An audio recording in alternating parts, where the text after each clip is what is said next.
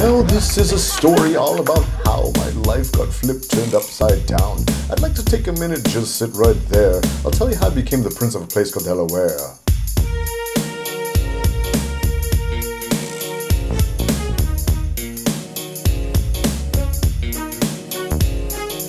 West Transylvania, born and raised on a sleigh ground is where I spent most of my days. Chilling out, maxing, relaxing, all cool, and shooting some b-ball outside of the school. When a couple of Puritans who were up to no good started making trouble in my neighborhood.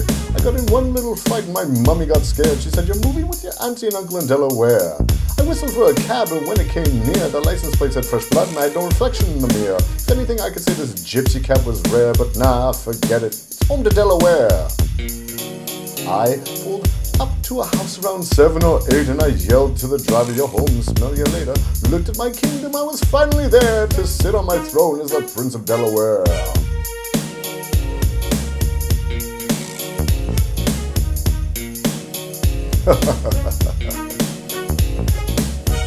Everyone, thanks for watching. We're Bucko. This is my best friend Lauren. This is my best friend Aaron. If you like the video, please hit the like button. Yeah. Uh, leave your comments below of any monster references we might have missed or puns. I'm not a big fan of puns. I love them, Yeah. so leave them.